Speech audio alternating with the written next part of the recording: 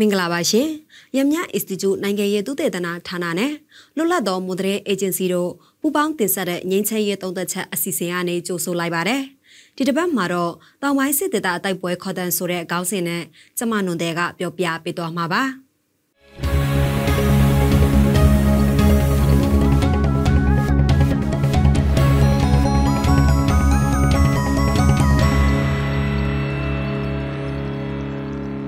ပြည်သူ့ကာကွယ်ရေးတပ်ဖွဲ့ PDF တွေကိုချင်းမုံမယ်လို့ကြွေးကြော်ထားတဲ့စေကောင်စီတပ်ဟာတော်လှန်ရေးကာလ၃နှစ်အတွင်းရောက်ရှိလာချိန်မှာထို့စစ်ကနေခန့်စစ်အသွင်တို့ကူးပြောင်းသွားပြီးဖြစ်ပါတယ်။အခုတစ်ပတ်ပြောပြမယ့်အကြောင်းအရာတွေမှာတော့ပျောက်ကြားစစ်စင်ရေးမှာစခန်းသိမ်းမြို့သိမ်းတိုက်ပွဲထိဖော်ဆောင်လာနိုင်ဖွယ်ရှိတဲ့မွန်ပြည်နယ်အတွင်းကစစ်ရေးအခြေအနေတွေကိုသုံးသပ်ပေးသွားမှာဖြစ်ပါတယ်။မွန်ပြည်နယ်အတွင်းတိုက်ပွဲဖြစ်ပွားမှုပုံတံကိုလစ်လာကြည့်တဲ့အခါမှာ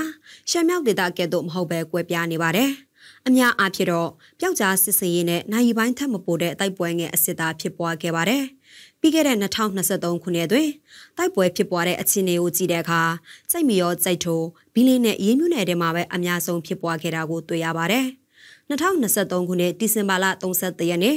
မနက်ပိုင်းအချိန်ကရေးမြူနယ်ကျောင်းရွာအခြေဆိုင်စစ်ကောင်စီလက်အောက်ခံတပ် ခမာယ990တင်နဲ့ခမာယ983တပ်ရင်နှစ်ရင်တို့ကိုဝန်ပြည်ဒေါ်လာရေးတပ် MSRF ပါဝင်တဲ့ပူးပေါင်းတပ်ဖွဲ့တွေဟာနှစ်သက်အကျိုးစစ်စင်ရေးအဖြစ်တပြိုင်နက်တည်းတွားရောက်ထိုက်ခိုက်ခဲ့ပါတယ်။မိနစ်ပိုင်းမြပဲကြာမြင့်တဲ့အဒီတိုက်ပွဲဟာပျောက်ကြားစစ်စင်ရေးဟုသာတတ်မှတ်ရမှာဖြစ်ပါတယ်။ ဒါပေမဲ့တခိုးပြေးမှာထိုးကွင်းထဆိုသလိုစစ်ကောင်စီတပ်တို့ရဲ့ထုံးစံအတိုင်းလက်နက်ကြီးတွေနဲ့ရန်တမ်းပစ်ခတ်ခဲ့မှုတွေကြောင့်2024နှစ်တည်းရဲ့ပထမဆုံးရက်မှာပင်အိုင်ရှေကျေးရွာကဒေသခံအမျိုးသမီးတို့ဦးကောင်းထိမှန်တန်ရာရရှိခဲ့ပါတယ်။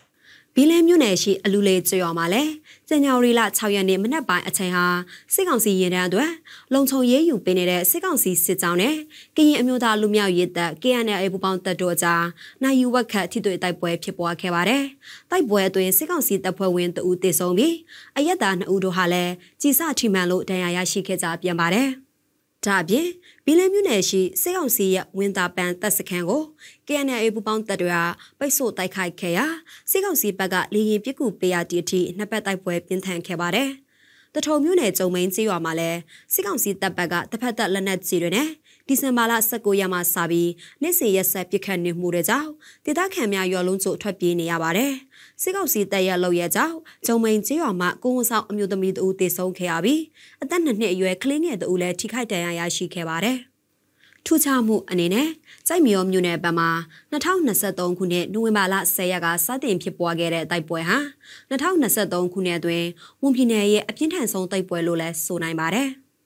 တိုက်ပွဲကြောင့်ဒေသခံပြည်သူများအားထားရာချောင်းနှကွာတရားကျုပ်ပြတ်ခဲ့ရသလိုစိတ်မျောမျိုးနယ်မှာကျေးရွာ20လောက်ကဒေသခံပြည်သူပေါင်း2000ကျော်အထိဘေးလွတ်ရာထွက်ပြေးတိမ်းရှောင်ခဲ့ကြရပါတယ်။လက်ရှိအချိန်ထိစိတ်မျိုးမျိုးနယ်တွင်စစ်ကောင်စီမှတပ်ရင်အားတိုးချဲ့လျက်ရှိရာတကြောပြန်တိုက်ပွဲဖြစ်ပွားလာမှာကိုဒေသခံတို့ကစိုးရိမ်နေပြီးယနေ့အချိန်ထိနေရမပြန်ရဲသေးတဲ့အခြေအနေဖြစ်နေပါတယ်။ မော်လမြိုင်မှုတုံတံပြူဆက်ရေးရေပြူတဝဲစတဲ့မြို့6မြို့ကိုဖျက်တမ်းဆက်သွယ်ထားတဲ့အမှတ်ရှိပြည်တော်စုလမ်းမကြီးကိုတော်လှန်ရေးရာစုတွေဘက်ကတဖြည်းဖြည်းဝင်ရောက်စုံမနိုင်ခဲ့သည်ကိုတွေ့ရပါတယ်။စစ်ကောင်စီရဲ့ထောက်ပို့လမ်းကြောင်းကိုဖျက်တောက်ဖို့ရည်ရွယ်ပြီးအမှတ်ရှိပြည်တော်စုလမ်းမကြီးတစ်လျှောက်အသွာလာရင်တွေကိုခင်းအမျိုးသားလူမျိုးရေးတပ် KNA နဲ့တော်လန်ရဲ့အရာစုပပောင်းအဖွဲ့တွေကနေ့စဉ်နဲ့အမျှစစ်ဆေးပြီးထိန်းချုပ်ဖို့စူးစမ်းနေတာကိုတွေ့ရပါတယ်။ပြီးခဲ့တဲ့ဒီဇင်ဘာလ24ရက်နေ့မှာ တနင်္သာရီတိုင်းဒေသကြီးရေဖြူအခြေဆိုင်စေကောင်စီလက်အောက်ခံခမရ406တရင်စီတပ်ပြောင်းပစ္စည်းများတင်ဆောင်လာတဲ့ကားတစ်စီးကိုရင်းမြနယ်ကနေကမောရွာနဲ့အောင်တရာရွာကြားမှာဖမ်းမိခဲ့ကြောင်းတောင်ပိုင်းစစ်ဒေသအမှတ်3စစ်ဒေသခွဲဒုစစ်ဒေသကုတ်ကဲရေးမှုယုံကသတင်းထုတ်ပြန်ခဲ့ပါတယ်။ အမတ်ရှိပြည်ထောင်စုလမ်းမကြီးကိုဒေါ်လာရဲရာစုဘက်ကအပြည့်အဝထိန်းချုပ်နိုင်ဖို့စ조사နေတာကြောင့်စစ်ကောင်စီတပ်တွေအနေနဲ့ဒီလမ်းမကြီးကိုအသုံးပြုရတော့ပဲစစ်အုံအဆောင်နဲ့ရိတ်ခါတွေတည်ယူပို့ဆောင်တဲ့အခါအရက်ဘက်ရင်ဒါမှမဟုတ်ရေချောင်းလန်းကိုသာအသုံးပြုပြီးဖြည့်ရှင်းလာရတဲ့အခြေအနေနဲ့ရင်ဆိုင်နေရပါတယ်။ ယခုအခါမော်လမြိုင်မူးထုံတံပြူဆက်ရေရေဖြူတော်ဝဲအမှတ်ရှိပြည်ထောင်စုလမ်းမကြီးပေါ်မှာတောင်ညိုစစ်ကြောင်းအပါဝင်တော်လှန်ရေးပူပေါင်းတပ်တွေကို KNLA ကဥဆောင်ပြီးအဆိုပါလမ်းမကြီးကိုရာနှုံပြူထိချုပ်နိုင်ဖို့ကြိုးပမ်းနေတာကိုတွေ့ရပါတယ်။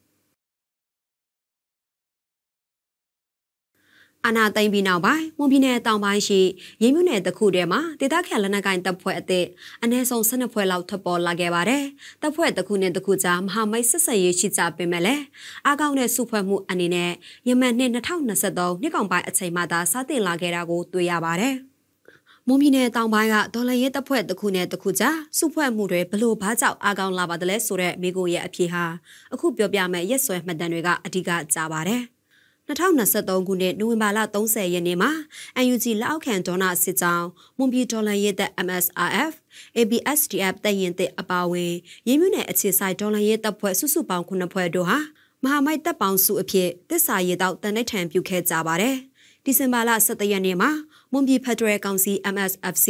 အမျိုးသားညီညွတ်ရေးအစိုးရ UNG မှဒုက္ခကွယ်ရေးဝန်ကြီးနိုင်ကောင်းတော်နဲ့မဟာမိတ်တပ်ပေါင်းစုတို့တွဲဆုံဆွေးနွေးခဲ့ကြတာရှိပါတယ်။ဒီဇင်ဘာလ23ရက်နေ့မှာ တနင်္သာရီတိုင်းရေဖြူမြို့နယ်ကံပေါက်ဒေသပြည်သူ့ကာကွယ်ရေးတပ်ဖွဲ့ KPDF ဟာတောင်ပိုင်းစစ်ဒေသမှာဒေါနာစစ်ကြောင်းရဲ့ချင်းမုံရေးတပ်ခွဲလေးဖြစ်ပြောင်းလဲဖွဲ့ခဲ့ပါတယ်။ဒီဇင်ဘာလ15ရက်နေ့မှာတော့မဟာမိတ်တပ်ပေါင်းစုမှမွန်ပြည်တော်လှန်ရေးတပ် MSRF ဟာမွန်ပြည်ဖက်ဒရယ်ကောင်စီ MSFC ရဲ့နိုင်ငံရေးဥဆောင်မှုကိုခံယူပြီးမွန်ပြည်နယ်တပ်အဖြစ်ရည်တည်ကြောင်းကြေညာခဲ့ပါတယ်။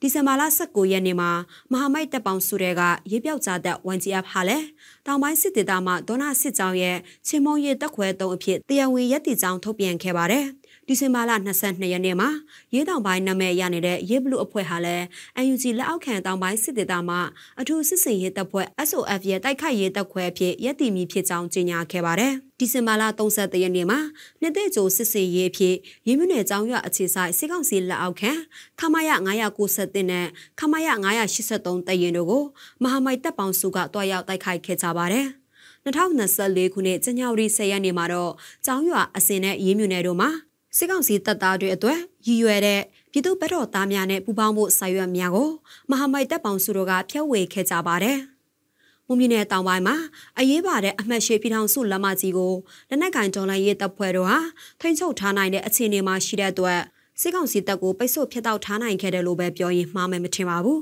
။တစ်ချိန်တည်းမှာခိုင်မာတဲ့မဟာမိတ်တပ်ပေါင်းစုအသွင်တရံအထိစုစည်းအားကောင်းလာခဲ့တာကိုတွေ့ရပါတယ်။ ဒါပြင်2024ခုနှစ်တွင်စစ်ရေးအရှိန်မြင့်တင်ပြီးမြို့သိမ်းစခန်းသိမ်းတိုက်ပွဲတွေဖော်ဆောင်သွားဖို့ရှိတယ်လို့လည်းမဟာမိတ်တပ်ပေါင်းစုများကထောက်ဖော်ပြောဆိုထားကြပါတယ်။2024ခုနှစ်ဟာဝန်ပြည်နယ်အတွင်းပုံမပြင်းထန်တဲ့စစ်စင်ရေးမစ်ရှင်များမလွဲအကံဖော်ဆောင်လာကြမှာဖြစ်တဲ့အတွက်စစ်ကောင်စီတပ်စခန်းအနီးရှိပြည်သူများအားလုံးလုံခြုံရေးတတိရှိကြဖို့နဲ့ကြိုတင်ပြင်ဆင်မှုများပြုလုပ်ထားကြဖို့လိုအပ်နေပြီဖြစ်ပါတယ်။တိုက်ပွဲခေါ်တန်းကြားတည်တဲ့တပြိုင်နက် စစ်ကောင်စီလက်အောက်ခံတမတော်သားများအနေနဲ့တမိုးရှိလာတဲ့မိမိတို့ရဲ့အသက်ကိုစတဲခံမြေအစားပြည်သူ့ဘက်ရက်တီရဲ့အချိန်ကြာရောက်လာပြီးဖြစ်ကြောင်းကိုလည်းတင်ပြလိုက်ရပါတယ်။